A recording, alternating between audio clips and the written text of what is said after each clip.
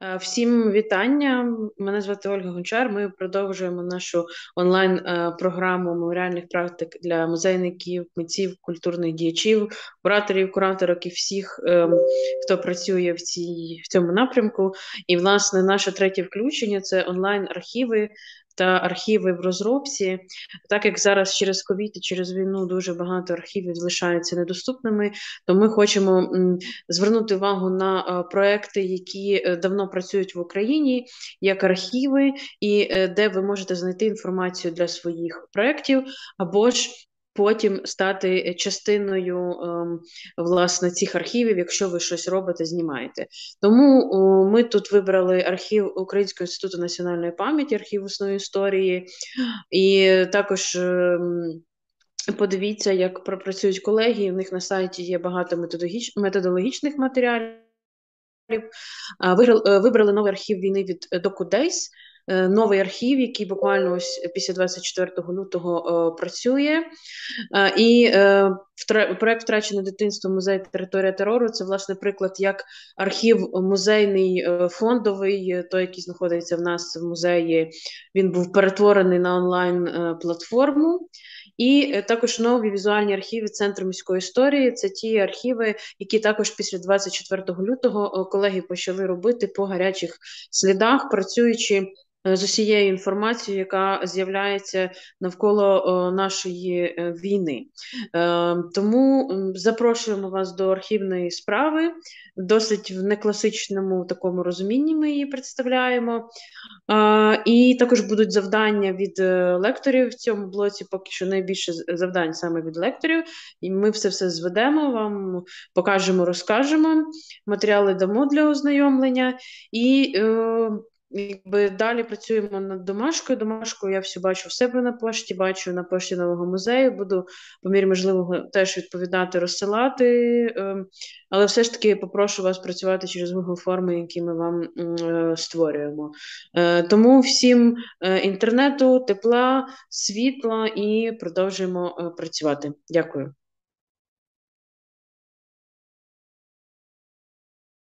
Вітаю, мене звати Тетяна Ковтунович.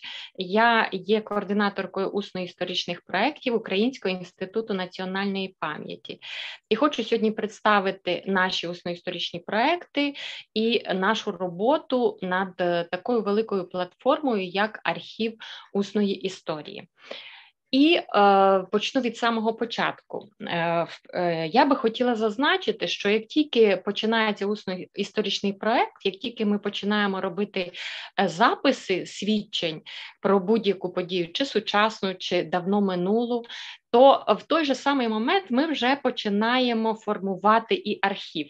Навіть якщо в нас немає далекоглядних планів на те, щоб сформувати великий глобальний архів, але все рівно ми формуємо папочки, які будуть систематизуватися по хронологічному чи по алфавітному якомусь принципу. Тобто, уже свого роду архів ми починаємо формувати від самого початку, коли ми робимо перше, друге, третє, десяте інтерв'ю. Перший проект найбільш глобальний, і проект, е, матеріали якого можна сказати, колекція, за результатами якого складає основний масив нашого архіву усної історії, понад 1200 записів. Ось на цьому слайді якраз транслюються етапи цього проекту. І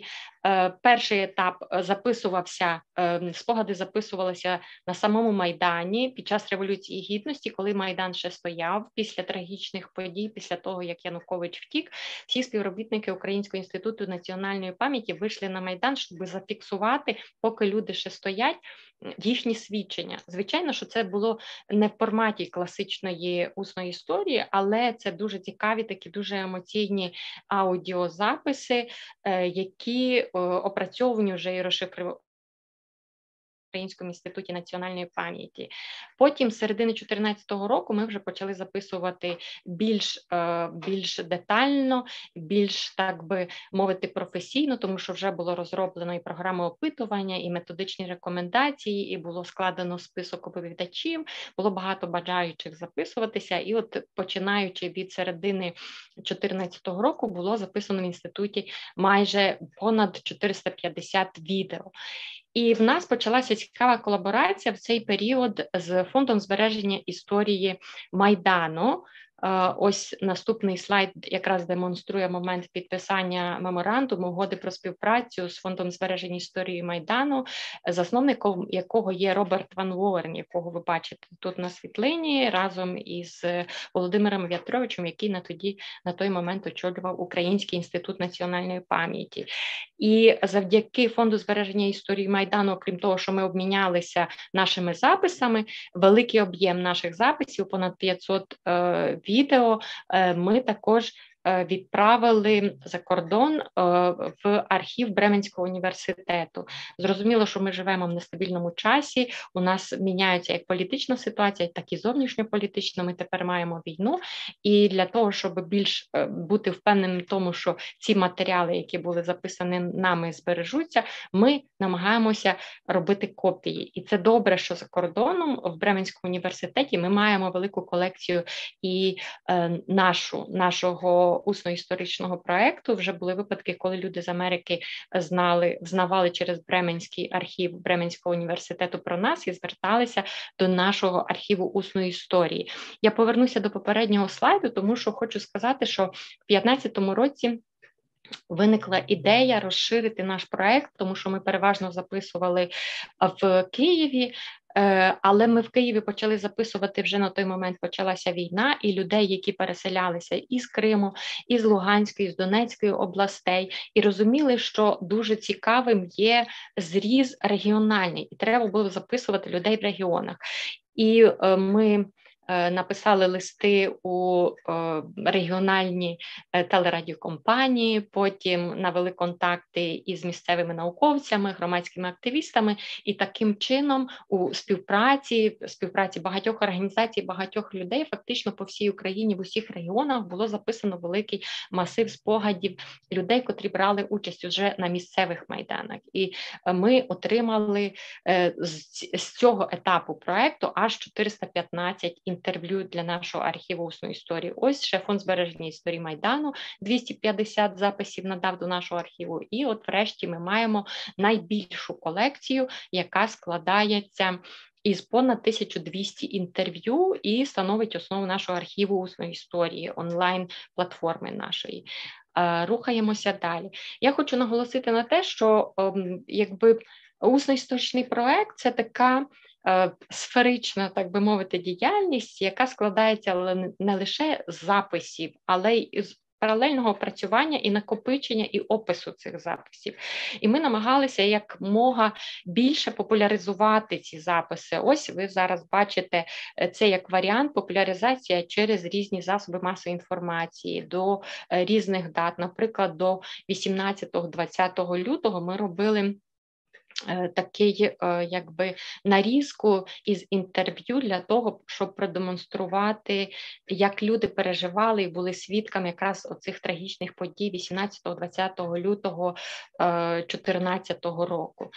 Ось тут ми бачимо два дві дуже поважні людини Любомира Гусера, Мирослава Поповича, яких ми теж записали в межах цього проекту Майдану Усна історія. Дуже тим пишаємося і е, розуміємо, що е, тим самим зробили великий вклад в збереження пам'яті про цих е, дуже потужних і важливих для нас що є історії особистостей, тому що, на жаль, уже їх немає з нами, але вони є е, спогади з ними, їхні спогади є в нашому архіві усної історії, і з ними можна буде ознайомитися і працювати. Ось тут я ще.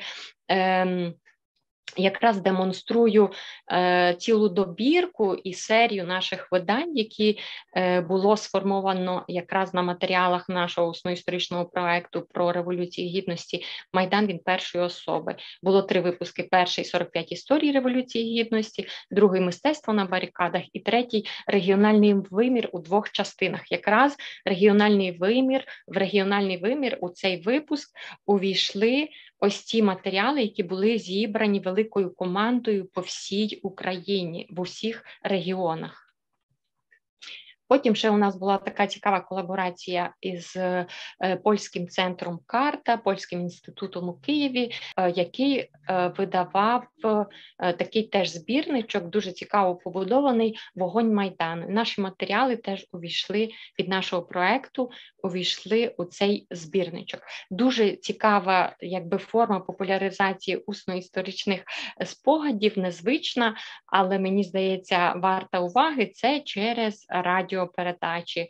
Ми ем, надавали їм цікаві фрагменти із наших записів. Вони їх опрацьовували, давали в прямий ефір. Потім запрошували ж тут же е, госте, в гості е, тих оповідачів, яких цитували, і з ними вже вели розмову е, на різні теми, які стосувалися безпосередньо їхньої участі в революції гідності. Вийшли вийшов цілий цикл радіопередач. І е, я говорю про цю сферичність, котра з'являється, коли ти запускаєш основний історичний проект, і до нього якби. Привертається увага, до нас звернулися е, члени громадської організації Родини Героїв Небесної Сотні, щоб ми записали в межах цього проекту і родичів Героїв Небесної Сотні. І я сама особисто багато е, робила відряджень і записувала в різних регіонах е, родичів Героїв Небесної Сотні, і це теж великий такий доробок. Він ще не був ні в якій формі популяризований, але я думаю, що в майбутньому це обов'язково станеться, і цих людей треба записувати, тому що, на жаль, е, ось ми на цій ем, фотографії бачимо. Я зараз покажу ось Сергій Вербицький брат Юрія Вербицького, на жаль, якого теж уже немає з нами, а його спогади вже залишаться в нашому архіві усної історії. І переходимо до другого проекту, такого теж дуже важливого і знакового, над яким ми працюємо, працювали і працюємо. Звичайно, що паралельно із із проектом Майданусна історія, коли розпочалися події е, на сході України, коли було окуповано Крим, ми розуміли, що е, ми маємо робити новий проект про е, російсько-українську війну. Тоді вона називалася АТО, тому і наш проект має початкову таку назву Усна історія АТО.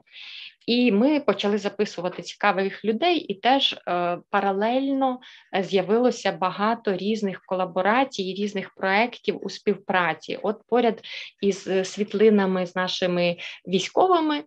Е, яких ми записували, і інтерв'ю, яких е, зберігаються в нашому архіві, ми бачимо книжку Дівчата зрізають коси. Це співпраця з Євгенією Подобною, журналісткою, кореспонденткою, яка бувала на фронті, і записувала історії про жінок на війні. І ось вийшла вийшла така книжка, дуже цікава. Вона набула розголосу і навіть отримала Шевченківську премію. Ми дуже цим пишаємося. Тобто, таке хороше визнання. Ми її переклали англійською мовою і маємо тепер англомовний варіант. Потім е, е, ми співпрацювали в межах проекту Усна історія, а то із Запорізьким національним університетом. В них дуже хороша школа усної історії. Раджу теж звернутися до їхніх е, сайтів і там ознайомитися із їхнім доробком, але вони теж дуже багато зробили в збереженні якби пам'яті про і фіксації пам'яті про цю російсько-українську війну. Вони записали дуже багато спогадів, а спільно з нами видали уже п'ять п'ять випусків таких видань, як усна історія російсько-української війни. І хочу наголосити на тому, що як попередні видання, які я демонструвала по темі. Е, Революції гідності і дівчата зрізають коси. Це більше формат популярний. Ця серія п'ять випусків усна історія російсько-української війни це чисто наукове видання, і е, тут матеріал подається дослівно, тобто всі інтерв'ю розшифровані так, як вимагає метод усної історії. Цікавий проект був в межах е, е, видавничий проект в межах нашого проекту Усна історія. То е, книжка називається Капелани. Під це видання ми спеціально робили такий спеціальний запис, робили опитувальник, програма опитування, якби робили цілий список людей, яких би ми хотіли записати, виходили з того, скільки капеланів від якої конфесії є на службі на війні, можна сказати, тому що вони на службі були в той момент ще неофіційно. Це тепер вони вже офіційно є на службі у війську. А тоді вони були фактично волонтерами, але дуже багато капеланів зголосилися навіть е, в статусі волонтера служити е, від початку війни. І ось ми їх записали. Дуже цікава вийшла книжка. Теж раджу, з нею ознайомитися. Потім е, в минулому році ми до Кримської платформи вирішили зробити, записати колекцію, таку 20 осіб відібрали і записали їхні свідчення про окупацію Криму. І в нас теж е, в архіві усної історії є окрема ціла колекція про окупацію Криму. І на на базі цих матеріалів цієї колекції ми створили ролик. Ось він тут просто візуальна картинка, е, його ще немає в мережі, але е, ролик був продемонстрований якраз на кримській платформі. Тобто, це ще як одна форма роботи із матеріалами, котрі формуються, створюються в усно-історичних проєктах. У минулому році також е, цікава співпраця була. Це це вже такі менш глобальні проекти, які я за про які я зараз говорю, що стосується і цієї колекції з 20 записів про е, Крим окупація, що стосується і зберігачі пам'яті поза часом. Цей проект ми робили у співпраці з українським домом, і в ньому ми записували дуже ґрунтовно, але в такому е, дуже якісному форматі телевізійному, я б сказала, записували знакових е, особистостей сучасності таких людей, які можна сказати вже пережили епоху. Тобто, це люди 70+, які жили за радянських часів, які пережили перехід від радянської епохи до незалежності, 30 років вже були свідками розбудови української держави, і навіть тепер уже живуть у час війни. Тобто, це люди, які е, можна сказати, є свідками цілого століття нашої історії, і це теж дуже цікавий такий проект. І на на, на цих усно-історичних записах це в форматі такому біографічної такої ем, е, розповіді е, робився запис. І на цьому матеріалі теж буде робитися певний такий популяризаційний відеоматеріал для широкого поширення, а самі записи будуть зберігатися, чорнові варіанти цих записів е, зберігатися в нашому архіві усної історії. І ось я хочу нарешті перейти до нашого архіву усної історії. На жаль, наразі архів е, він закритий. Із тої причини, що в ньому зберігаються записи спогадів людей, які залишаються на окупованих територіях, і щоб убезпечити їх, ми закрили цей архів для широкого доступу. Тому я буду намагатися е, продемонструвати його через е, скріншоти, які я е, встигла зробити. І ось ми маємо титульну сторінку, і хочу зразу сказати, що архів складається з двох частин: одна частина безпосередньо архівна, друга частина популяризаційна. Архівна частина ось вона, вона так і називається архів. І я трішки на наступному скріншоті покажу, коли ми нажимаємо архів, ми заходимо на ось таку сторінку, де ми зразу бачимо фонди. Фонди у нас формуються е, за назвами організацій, які були укладачами Е, цих колекцій, і які передава, або які передавали нам ці колекції на зберігання в наш архів усної історії. Ось тут ми бачимо перший фонд Український інститут національної пам'яті, другий фонд, е, якраз громадська організація Фонд збереження історії Майдану, потім четвертий фонд. Громадська організація Центр дослідження визвольного руху, телеканал Дитинець місто Чернігів, фонд 24 і так далі. Тобто, е, таким чином Е, групуються в колекції матеріали по фондам, е, а далі фонди формуються із описів. Це все у нас е, формується за тими вимогами, які є до всіх архівів, які до архівної справи, яка існує в Україні. Тобто ми намагалися дотримуватися цих загальноприйнятих норм.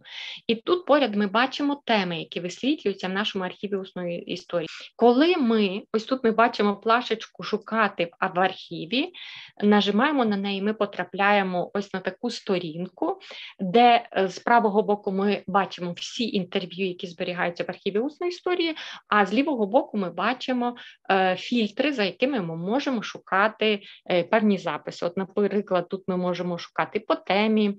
за оповідачами і так далі. Тут, на жаль, ми не можемо прогорнути сторінку донизу, там буде ще більше можливостей е, фільтрувати е, дані, але я думаю, що і так всім зрозуміло. Ось ми бачимо Е, далі переходимо. Далі ми переходимо вже на конкретне інтерв'ю, і по цьому конкретному інтерв'ю ми можемо бачити, які можливості дає наш, е, наша онлайн-платформа, наш архів усної історії. І ось зверху ми бачимо, що це фонд.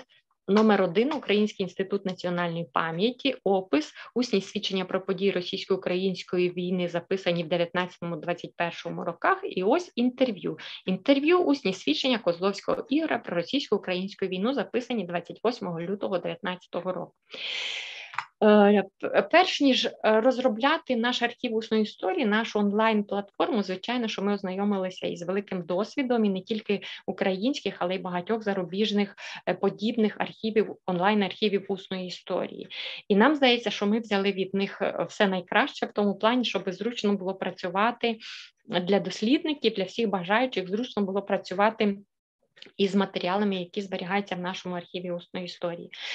З лівого боку ви бачите е, безпосередню від... трансляцію відеофайлу, тобто такий ем, ось перша частина Ця трансляція складається не з однієї частини, відеотрансляція складається це свого роду такий плеєр, і трансляція складається не з однієї частини, може бути дві частини, три частини. Ось тут тут червоним де перша частина буде написано перша частина, друга частина, третя частина. Тобто можна буде тут автоматично переходити на них.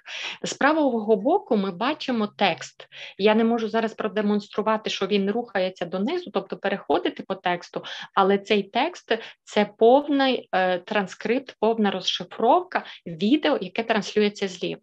І дуже е, мені здається, що дуже зручно і дуже е, практично те, що е, тут по тексту через певні періоди часу є тайм-коди.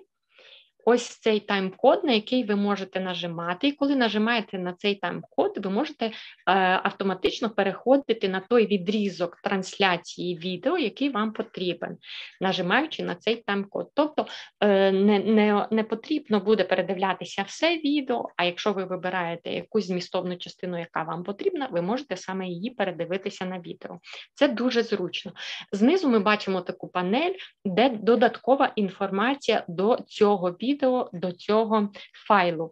Тут є інформація про оповідача більш детальна, про інтерв'ю, про саме інтерв'ю, хто інтерв'юер, де відбувалося інтерв'ю і так далі. Можуть бути додаткові фото до цього відео спогаду. Якщо немає фото, які нам додатково надає сам оповідач про події, в які він брав участь, то переважно ми даємо просто портретні фотографії більш хорошої якості. Тут можуть бути також інші відео і аудіо. Наприклад, ми зараз записуємо, я особисто записую е, бійців, які є учасниками подій е, теперішньої фази. Е, російсько-української війни, і вони надають мені відео навіть з телефонів. Е, такі вони не дуже якісні, але вони дуже дуже важливі для того, щоб продемонструвати ту розповідь, розповідь е, яку нам розповідає оповідач. Тому тут можуть бути відео або аудіо записані самим оповідачем в інших ситуаціях. Потім можуть бути якісь документи, фотографії, скани і так далі. Вони теж тут прикріплюються. І транскрипт. Транскрипт це дуже важлива функція, тому що ми надаємо можливість користувачам нашим скачувати транскрипти, тобто самі великі тексти. Якщо у вас якесь інтерв'ю дуже зацікавило, або для вашого дослідження потрібно саме текстова частина цього інтерв'ю, то ви можете скачати цей транскрипт. Нажимаючи на транскрипт, там буде випадати е, певна реєстраційна форма. Для того, щоб отримати сам текст, ви маєте зареєструватися більш детально, надати інформацію про себе, і тоді ви зможете скачати цей транскрипт. І е, там, якщо прохо, е, пролистувати вниз, е, там з'являється, е, е, окрім всього іншої інформації, про яку я вам розповіла вище, ще й така карта, на якій ми позначаємо географію Е, цього оповідача будемо казати про події, які він, е, про які він розповідає у своєму спогаді. Тобто кожне інтерв'ю воно супроводжується ще й маркування геолокації певної такої. І повернемося на першу сторінку. Я вам розповіла і Думаю, що коли з'явиться доступ до нашого архіву, можна буде зайти, попробувати, подивитися наші відео, подивитися, попробувати роботу з нашими транскриптами. От, А наразі я ще трішечки скажу про е, популяризаційну частину нашої платформи архів усної історії.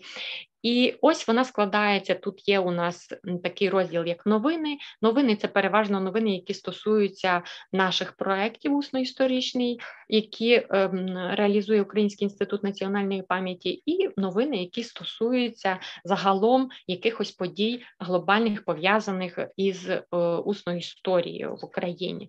Потім проекти. Проекти це переважно ті усно-історичні проекти, про які я вам розповіла вище, можливо, якісь і нові проекти, які будуть будуть з'являтися, вся інформація про них і всі видання тут присутні посилання на електронні версії цих видань, які я вам вище демонструвала. Тобто ці всі електронні видання можна буде е, переглянути і почитати їх у нас ось тут, якраз де є наші проекти. Публікації.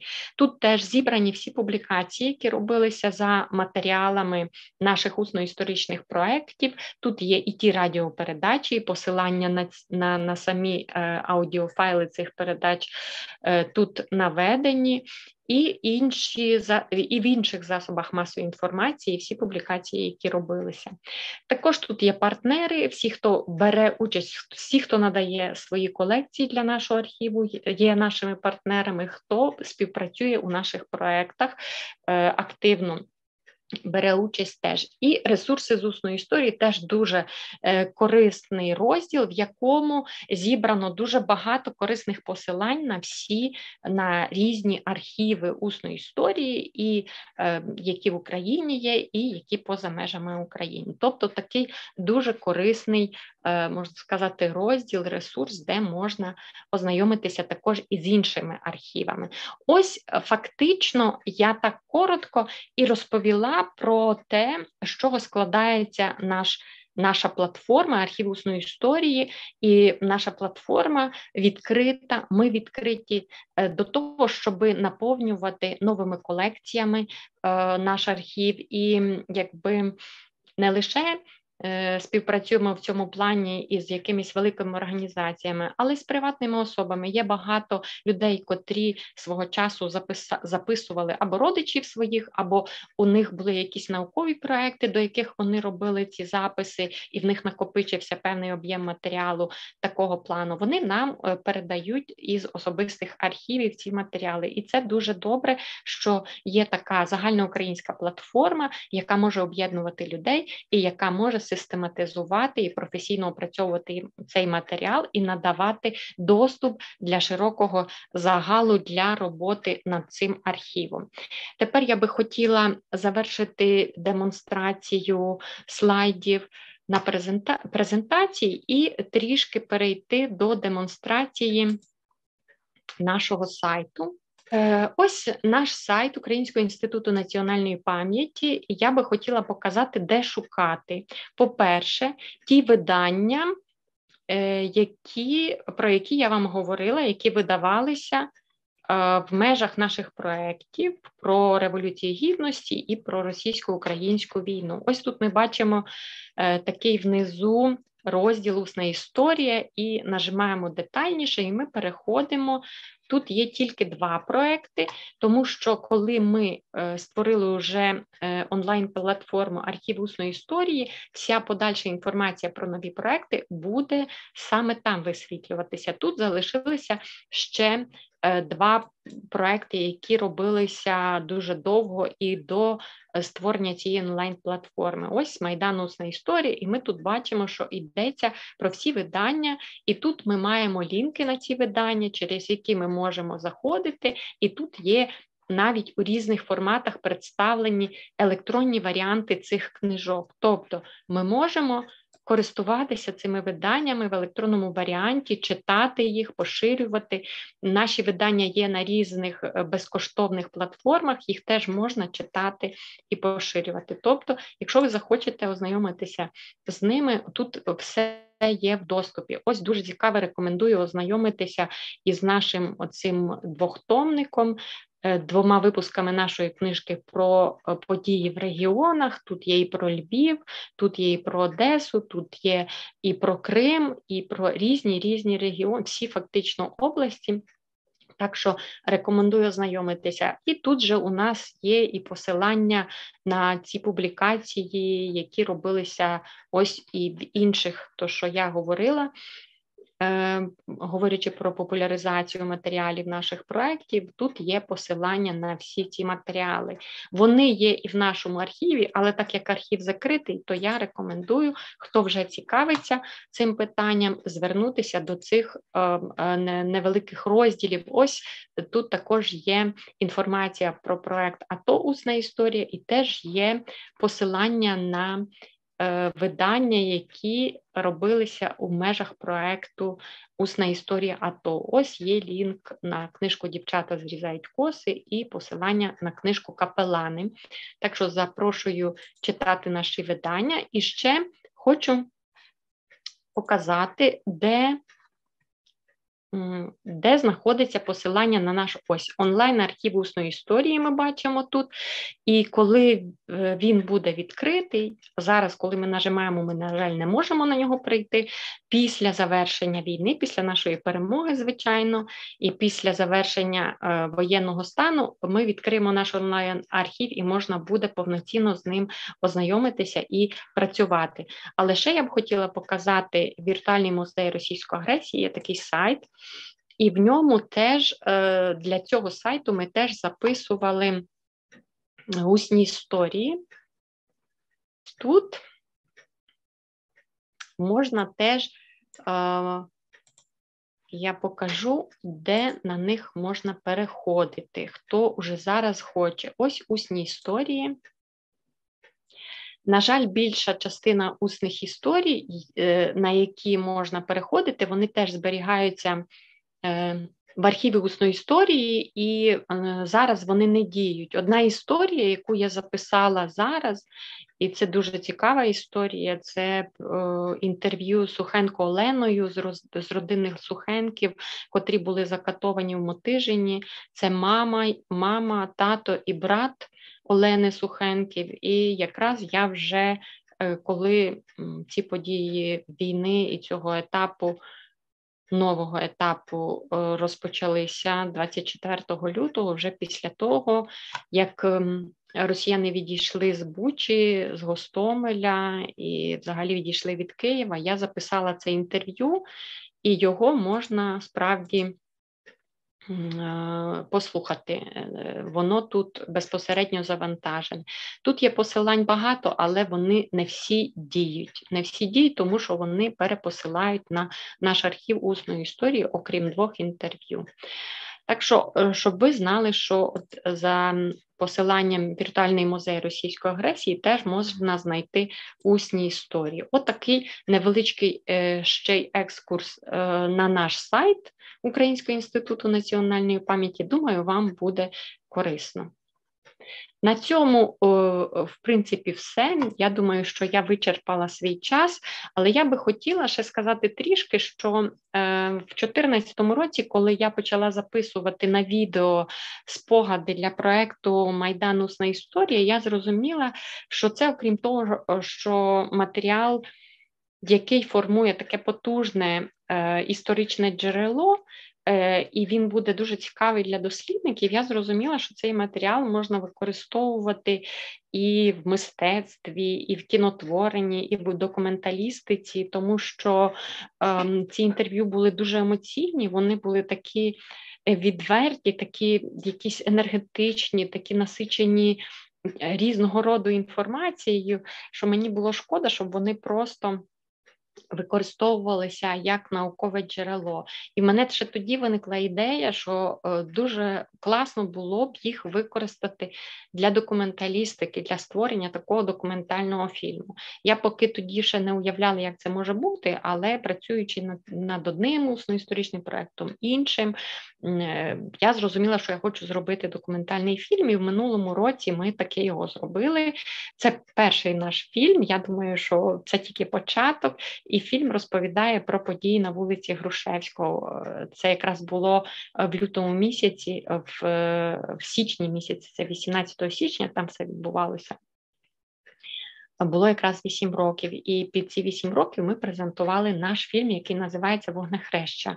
Я зараз пропоную подивитися трейлер о, до цього документального фільму. А під самим відео навчального матеріалу буде посилання на повну о, повну версію цього фільму і посилання на наші ресурси, на наш сайт і на інші ресурси, які є зараз у доступі. На цьому дякую. Дякую за увагу.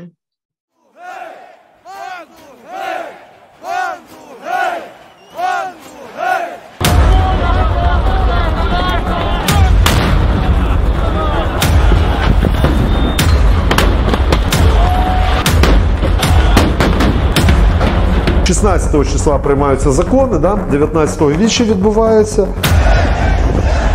Говорять товаришу Яценюку, що далі, чувак?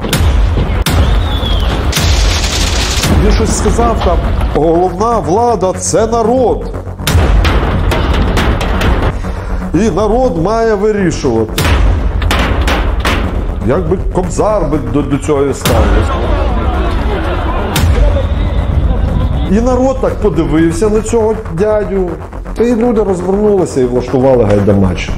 Цей майдан я вже назвала Січ, тому що він вже був воєнізований фактично. Перша лінія, там камні летять, фейверки, от, якісь такі мужні чоловіки, все. І тут канапки, канапки, канапки. Але не може бути так, що е, метою є просто убити людей. А вони бігли, цей беркота, і вони кричали так, як варвари. І ти втрачаєш там відчуття реальності знову.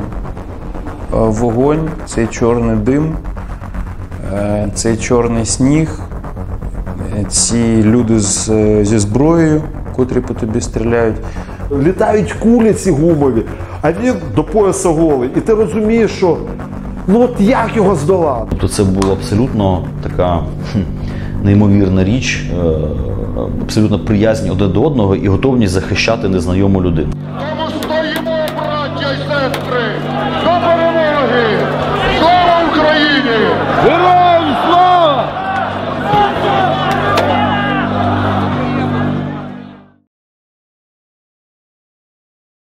Усім привіт! Мене звати Марія Бучельнікова. Сьогодні я розповім про е, наш digital архів архів війни е, і розповім про те, як ми фіксуємо історію у цифрову добу. Я проектна менеджерка цього власне архіву, е, і також після повномасштабного вторгнення стала співзасновницею медійного проекту Ukraine Explainers, Ми розповідаємо про російське вторгнення і про контекст російсько-українських відносин для іноземців. До повномасштабного вторгнення я також була комунікаційною менеджеркою мандрівного DocuDays.ua та доку-клубів.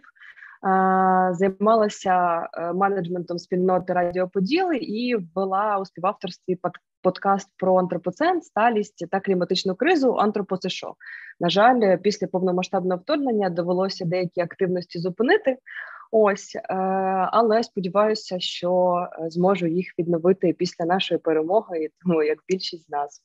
Тож, що таке архів війни? Власне, архів війни е, ми називаємо його об'єднаною базою відео та аудіоматеріалів.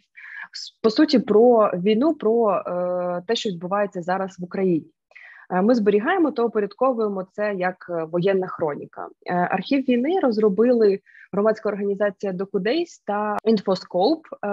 Докудейс це вже відома організація через щорічний фестиваль документального кіно про права людини, який ми проводимо в Києві. Ми готувалися до нього також е, і цього року, в березні, але на жаль, змусили його перенести. І нам вдалося зробити це в листопаді в Києві, що абсолютно здавалося неможливим, але це вийшло.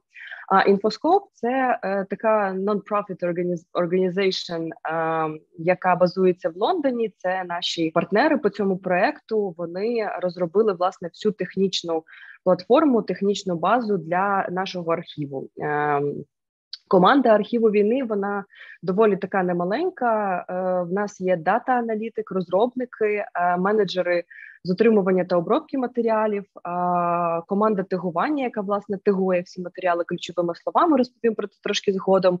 А є координаторки напрямку інтерв'ю і власне команди інтерв'юєрів по всій Україні, менеджери партнерств і комунікаційна менеджерка, тому що е, нам дуже важливо, щоб проект знали, щоб він був корисним, корисним іншим спільнотам, професійним, але лише для нас, як просто архів, де ми будемо для себе зберігати матеріали. Е, власне, е, чому взагалі виникла ідея архіву? Після початку повномасштабного вторгнення ми бачили, особливо в телеграм-каналах, дуже величезну кількість різних відео про опір цивільного населення, про те, як е, люди в селах і містечках зупиняють танки без зброї, про те, як люди ховаються в бомбосховищах, але при цьому не втрачають надію, співають, збираються і так далі. І ми зрозуміли, що це все по суті історія, е, яку ми зараз пишемо разом, створюємо разом і бачимо разом щодня. І дуже б хотілося це все вберегти і не втратити. Е, плюс також був досвід.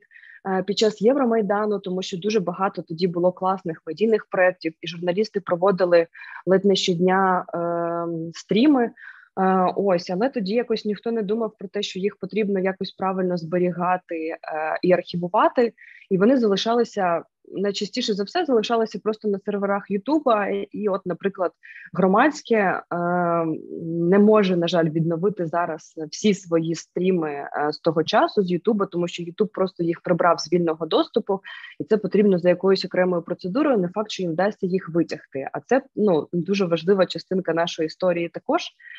Тому ми зрозуміли, що потрібно максимально вберегти всі ці матеріали.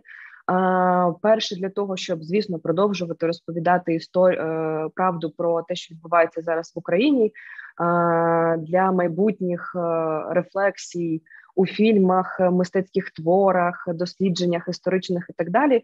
І звісно, для того, щоб е, всі ці воєнні злочини і злочини проти людяності, які з якими зіштовхуються сотні тисячі українців, стали видимими, і ми могли покарати винних в майбутньому. А як працює архів? Архів війни по суті це як така база даних чи каталог. Наша команда відбирає матеріали, які ми отримуємо, сортує ці матеріали і створює такий собі каталог за допомогою ключових слів. Це, наприклад, локація, дата. Якісь е, важлива інформація, яка потрібна там для цього відео, конкретно щоб його е, зрозуміло і зручно швидко знайти. І ми е, спеціально розробили під цей проект список ключових слів, тому що матеріалів дуже багато, так вони з різних тематик, е, і потрібно якось е, ну щоб цей щоб цей список в нас був під руками. І також ми окремо е, додали список класифікації воєнних злочинів за римським статутом, тому що їх теж дуже багато, і на жаль, в нас є матеріали. Так, які можуть мати ознаки воєнних злочинів, це може допомогти в майбутньому для досліджень наприклад, правозахисних організацій, адвокатів і так далі. Е, ми збираємо матеріали про е, по суті все, що стосується зараз життя українців е, в Україні під час цього повномасштабного вторгнення. Однак, це матеріали, які саме після початку повномасштабного вторгнення до цього періоду ми не зніма не збираємо, але є організації, які це також фіксували, і в них вони в базі є. Е, співавтором архіву може стати кожен кожна. Е, це можуть бути і звичайні люди, які надсилають свої матеріали зі смартфонів, просто що вони не знімали самі. Це можуть бути е, журналісти, які професійно знімають, наприклад, режисери, або ж можуть бути цілі ініціативи організації, які теж е, фіксують певні певні матеріали. Е, ми знаємо, що таких ініціатив є в Україні зараз багато, які зберігають е, якісь матеріали, так і нас часто питають, що а чим ви відрізняєтеся від е, від інших проєктів? І насправді мені здається, що тут важливо е, це не питання конкуренції, хто чим відрізняється, а як ми можемо доповнювати одне одного, тому що якраз е, під час цієї війни ми мені здається, дуже багато хто з нас зрозуміли, що важливо консолідуватися і об'єднувати зусилля, тому що якщо ми хочемо зібрати змістовну картинку всіх цих подій, самостійно це зробити неможливо. Е, тому е, ми намагаємося об'єднуватися з іншими ініціативами і якось обмінюватися досвідом, практиками. І власне робити так, щоб архів і наша робота вона була корисна іншим людям. Ми створили архів з урахуванням найкращих практик українських та іноземних правозахисників. Ми трошки досліджували інші архіви. Ну як не трошки, найбільш відомі архіви досліджували, дивилися, як вони створювалися. Також е, архів відповідає міжнародним стандартам, е, особливо що стосується методології збору, верифікації даних, маркування контенту і так далі але е, це ну є певний такий, як це дуже легко загубитися в ідеї, що от ми зберемо всі ці матеріали, і їх можна буде легко використовувати як докази в міжнародному кримінальному суді, наприклад, чого більшість українців очікує справедливості. Але ну на жаль, цей процес не так побудований. Е, все одно у всіх різні методології, і на жаль, до однієї методології збору даних дійти неможливо.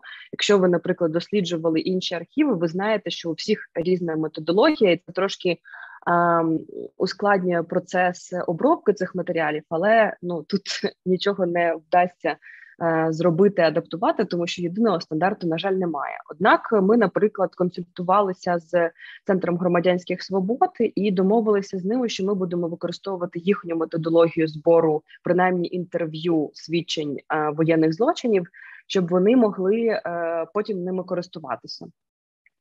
В нас є для захисту бекапи на серверах поза межами України Ніколи не можна бути стовідсотково впевненими, що не буде ніяких е, хакерських атак і так далі. Але ми намагаємося вберегтися від цього. І в нас є е, в Україні сервери, в нас є в е, Лондоні сервери, і також в Німеччині, наскільки я знаю.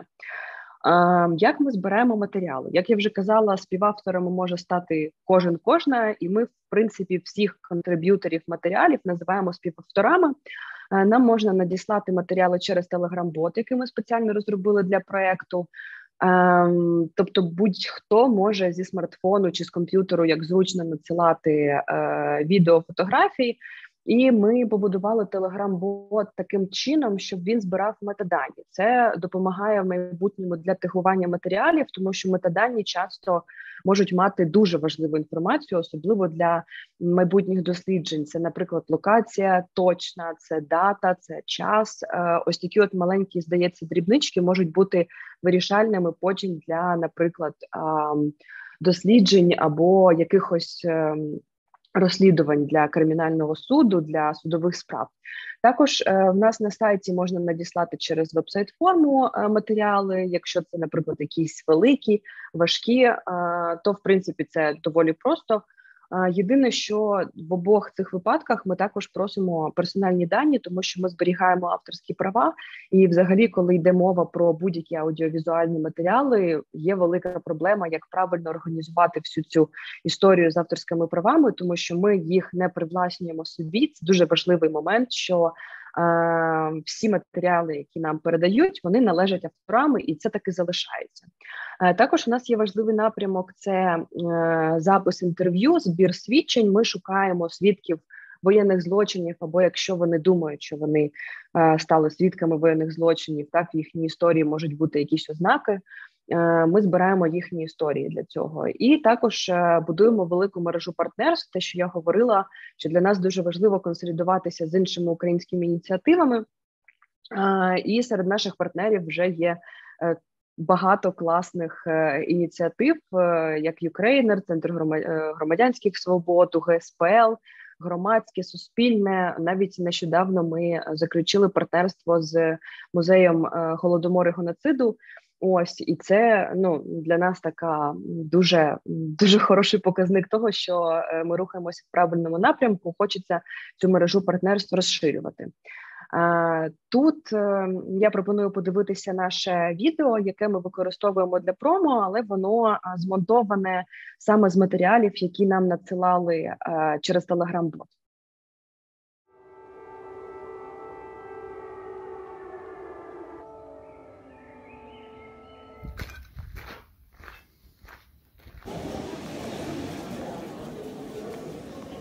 Так вот ночуем четвертую ночь. Ребенок спит в ванной. Дня. І там стояв, по-моєму, град. Поставили теж всіх на коліна, били, питали.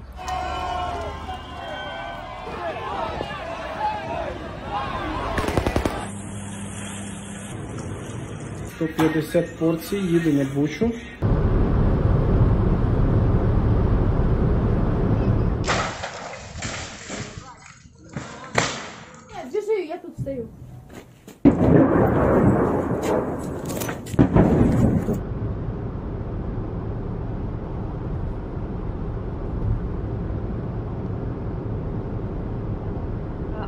ось так виглядає архів війни зсередини. Якщо на нього зайти, доступ е, зараз до нього неможливо отримати з інтернету. Просто так е, його можна отримати лише за лінком, перейшовши там за спеціальною процедурою через певну програмку, і тоді можна побачити ось цю заставку.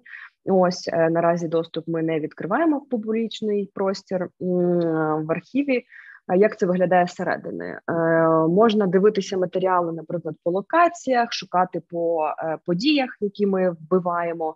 Е, можна аналізувати медіа. Аналіз медіа це вбиваєте певні характеристики, за якими вам потрібно зібрати матеріали, і ось ви можете ну ось їх можна так побачити. Тобто архів одразу надає не просто якийсь один матеріал, не просто одну картку з інформацією, а одразу може зробити таку собі підбірку за певними характеристиками, які їм передаються. А Ось, наприклад, так е, виглядає процес тегування, е, яку проводить наша команда, е, і загалом так виглядають матеріали зсередини архіву. Тобто е, є е, базова інформація про цей матеріал, є основний контент. Ви бачите, що це інтерв'ю, тому що там ось внизу 50 хвилин, 47 секунд. Це інтерв'ю зі свідком, який розповідає свою історію. І поки що ця картка повністю порожня, крім того, що ну є ось це відео. Е, праворуч ви можете побачити, що е, сюди можна написати назву, регіон, місто, адресу, додати дату. Е, ключові слова, тобто теги, і також можна додати абсолютно будь-яку інформацію, яку свідок говорить, щоб це все не не втратилося з його слів. Ось, але е, якщо це, наприклад, персональна інформація, то е, користувачі архіву не будуть бачити ці е, ці дані. Вони будуть бачити тільки ключові слова. Ця персональна інформація прихована. Е, до неї є доступ тільки в деякої частини команди. В мене, наприклад, немає як і доступу до архіву. Ну тому що мені, як менеджерсі проекту, не потрібна ця інформація. Власне, вона на мене і не поширюється. Плюс плюс ми ну намагаємося убезпечити всі персональні дані, якраз з огляду безпеки е, свідків. Е, а ось так виглядає, наприклад, протегований матеріал. Конкретно на цьому тайм-коді тут е, написано ім'я, основні ключові слова. Е, ключові слова ми пишемо. У нас є е, українськомовні і англомовні, тобто вони двома мовами. Зараз е, зазвичай пишуть все ж таки англійською мовою, але ми ну якби в майбутньому плануємо, що можливо буде сенс перекласти його, зробити двомовним повністю, щоб інтерфейс так само був українським. Ну тому що ми зацікавлені в тому, щоб архів був доступним, щоб люди, які не добре знають англійську, також могли зручно користуватися. І як бачите, внизу observations – це по суті опис, що в цей час говорить свідок про конкретну подію. Він розповідає про свої емоції. Ось і по суті, ось так виглядає конкретна картка в конкретний період часу по тільки е, цьому ну інтерв'ю від свідка, але е, так можуть виглядати. Ну, це стандартний такий вигляд е, будь-якого матеріалу, який можна знайти в архіві. Е, просто там може бути або більше, або менше інформації, в залежності від того, що вдалося витягти.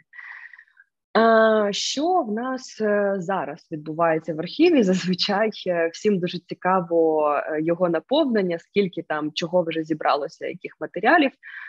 Ми відсортували і протегували більше 320 годин. Тут стоїть плюсик, тому що процес тегування і сортування він відбувається постійно. Нам можуть передавати великі такі масивні відео аудіоматеріали. Ось, наприклад, коли ми отримували матеріали від Юкрейнера, то це був е, ну вони прям дуже багато важили. І в мене колеги, колега на трьох комп'ютерах е, цей процес завантаження відбувався перманентно. Ось тому він ну тобто процес е, тегування відбувається постійно тому е, важко одразу так легко підрахувати е, наповнення. Також ми підключили спеціальний алгоритм, який може аналізувати е, відкриті телеграм-канали і по суті з них витягувати е, ці матеріали. Їх вже е, майже 900, е, але основна проблема в тому, що це такі дрібні дуже матеріали, відео, і їх відсортовувати дуже важко. Тому ми поки що їх збираємо, але налаштовуємо алгоритм е, який може автоматично відсіювати там за якимись певними характеристиками непотріб, да, і, і вже після цього передавати команді тегування, працювати з матеріалами, які вже відсортовані, принаймні, е, щоб вони не займалися першим етапом сортування, а могли вже перейти до каталогізації.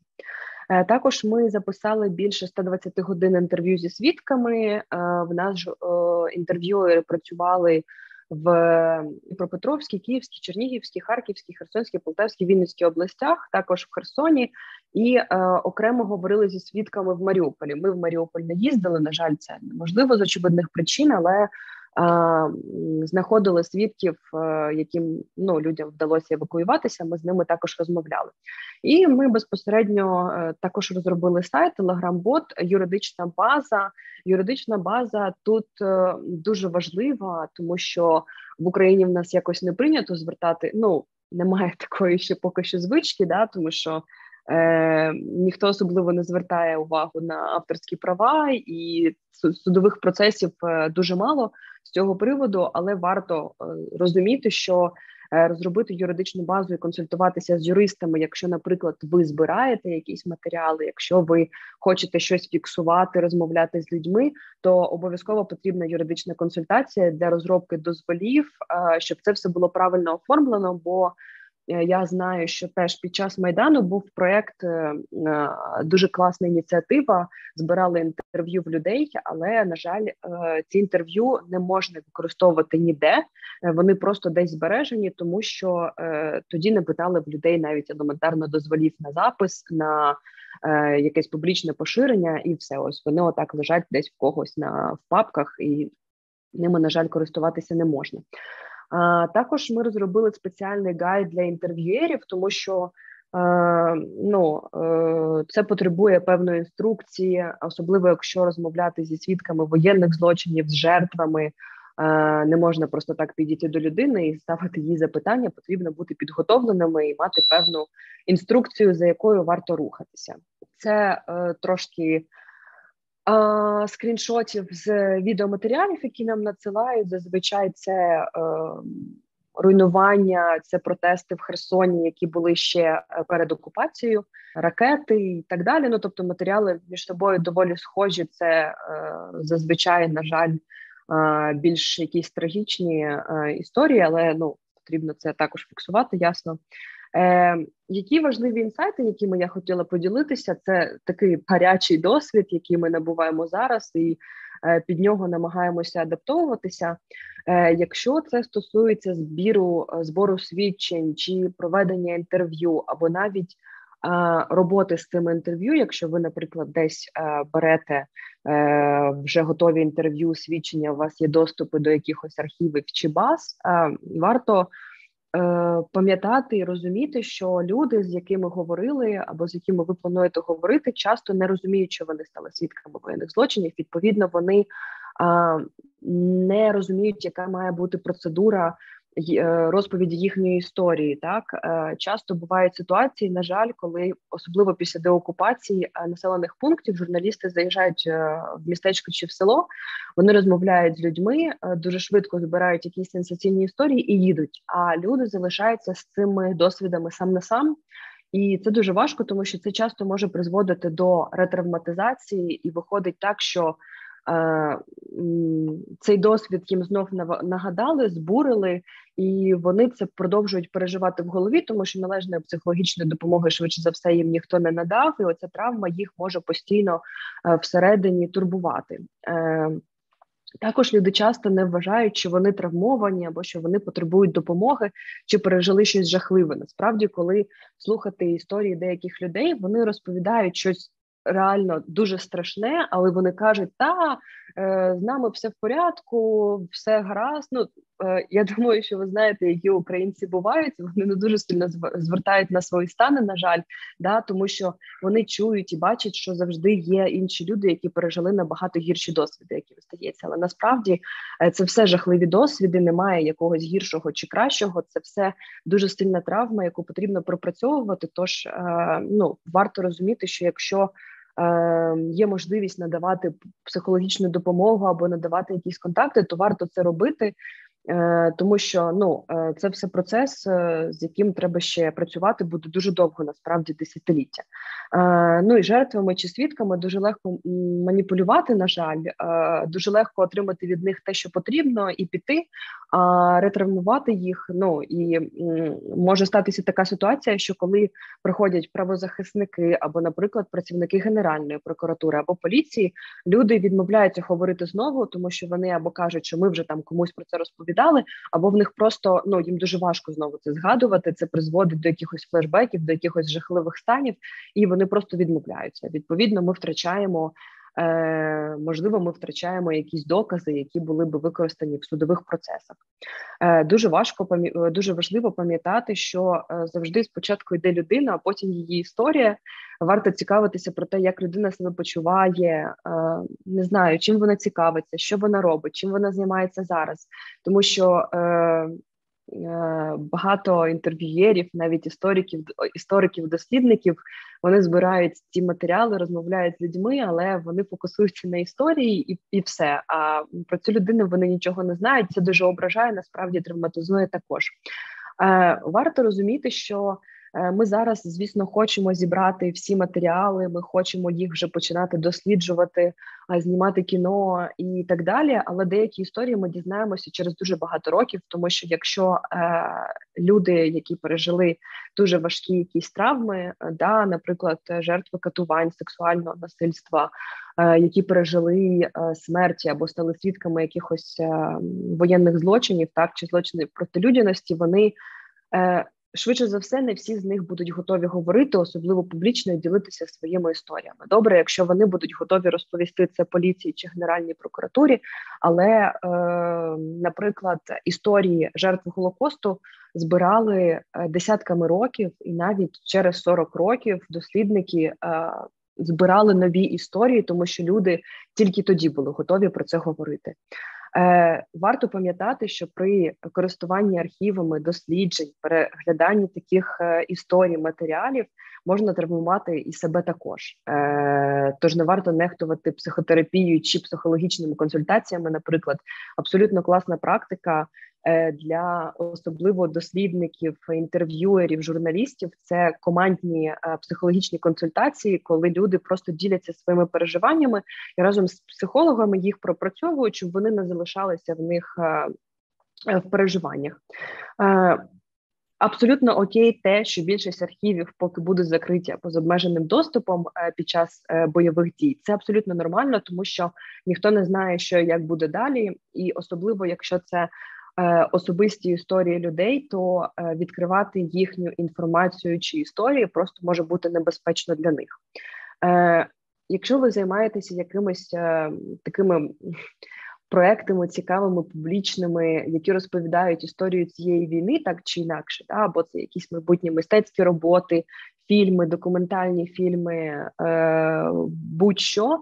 Е, говоріть про це голосно, розповідайте про це голосно якомога е, більше е, бажано англійською мовою, тому що якщо ми тихі, то голоси Російської Федерації стають голоснішими. Тому чим більше ми говоримо про те, що ми робимо, що тут відбувається, тим більше ми привертаємо увагу до України в міжнародному публічному просторі. Це дуже важливо для нас і поки триває війна, і після перемоги, тому що нам ще доведеться розбиратися дуже багато з усякими е, проблемами, щоб досягти повної справедливості і виплати репарацій. Нам потрібно постійно привертати увагу до України і жодним чином не давати е, можливості робити це Російській Федерації. Ну і звісно, кооперація та спільність це те, що дуже допомагає рухатися далі, і мені здається, що тут. Коли ми говоримо про такі речі, не варто думати про конкуренцію, а все ж таки згуртовуватись, робити якісь речі разом. І такий, мабуть, підсумковий е, слайд це виклики для архіву війни і для України загалом. Я впевнена, що для багатьох людей, які зараз так чи інакше працюють з якимись такими матеріалами чи архівами. Е, це безпрецедентна кількість воєнних злочинів, і треба розуміти, що е, їх настільки багато, що дослід їхні їхня обробка або навіть фіксація поки що неможливі. Е, просто варто розуміти, що ця робота вона на десятки років вперед, і е, перемога України в цій війні вона не закриє, на жаль, ці всі питання. Тож треба бути готовими, що це дуже довга робота. І якщо ви, наприклад, займаєтеся якимось такими е, дослідженнями чи збором. Е, то е, є сенс трошки підучитися, дізнатися більше про всі ці процеси, тому що ну це на жаль з нами ще надовго. Варто розуміти, що будь-які історії, інтерв'ю або навіть матеріали, які фіксуються. Які стосуються воєнних злочинів, вони автоматично не дорівнюють і не стають доказами в міжнародних кримінальних кримінальному суді та інших судах. Е, На жаль, так побудований судовий процес, що е, адвокати будуть збирати додатково і окремо розмовляти з людьми, досліджувати всі ці дані е, і матеріали, і готувати це вже під конкретні е, судові процеси. Е, в Україні і в світі, на жаль, зараз не існує розроблено політичних процесів як для нашого уряду, так і для міжнародних урядів інституцій. Що я маю на увазі, тут що Е, всі дуже сильно сподіваються на міжнародний кримінальний суд, але варто розуміти, що вони е, не будуть займатися справами абсолютно всіх людей. І якщо ми хочемо досягти справедливості, а в нас таких сотні тисяч е, людей, які потребують і справедливості, і репарацій, і яких якихось компенсацій. Е, цими всіма судовими процесами має хтось займатися, і на жаль, поки що е, він не розроблений. Я сподіваюся, що в майбутньому уряд України все ж таки дотисне, і в нас буде якийсь або окремий суд, або, хоча б прийнятне законодавство е, під під, під судовий процес.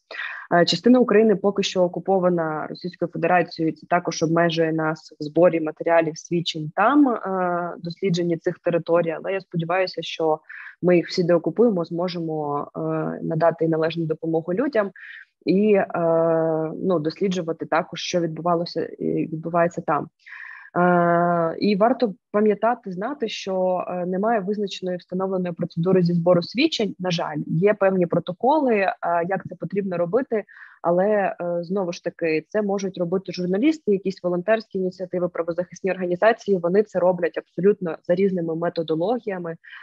Тому подальше дослідження цих матеріалів може бути певним чином ускладненим. Наприклад, я знаю, що якщо не помиляюся, чеченський архів е, збирали за дуже різною методологією. Потім, щоб це все звести докупи, їм знадобилося понад 10 років, щоб просто все це призвести до якогось одного належного вигляду за однією методологією, тому що це далі просто ускладнює дослідження і роботу з цими матеріалами.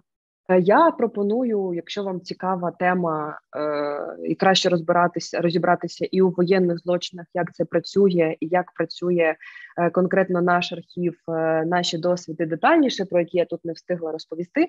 Е, пропоную почитати і подивитися деякі матеріали. Е, подосліджувати е, архіви, які ну ми, наприклад, досліджували їх перед тим, як робити нашу роботу, і можливо, вам також буде цікаво просто подивитися, за якою саме методологією вони збирали, збирали ці матеріали, як в них все це організовано. Дослідити раджу коаліцію трибунал для Путіна, тому що вони якраз це коаліція правозахисних організацій вони домовилися разом збирати докази воєнних злочинів і зараз формують таку велику карту карту цих свідчень, щоб потім в майбутньому їх використовувати в судах. І я раджу для ну для натхнення і для якогось кращого розуміння, що нас ще чекає попереду. Це послухати промову Олександри Матвійчук, директорки Центру громадянських свобод, е, яку вона сказала на церемонії вручання Нобелівської премії миру. Е, мені здається, це дуже така натхненна доповідь, і вона дуже добре показує. Е, що Україні і українцям, українкам попереду е, потрібно робити ще дуже велику роботу, але ми до цього готові. Е, потрібно готувати до цього і світ. Я вам дуже сильно вдячна за увагу і до цікавість до цієї теми. Ви можете, якщо у вас є запитання або, наприклад, бажання якось кооперуватися, чи можливо ви би хотіли передати нам свої матеріали для збереження в архіві, ви можете написати мені на пошту і також трошки почитати більше про е, ці проекти, про наш фестиваль. Е, все буде Україна, і дякую вам за увагу.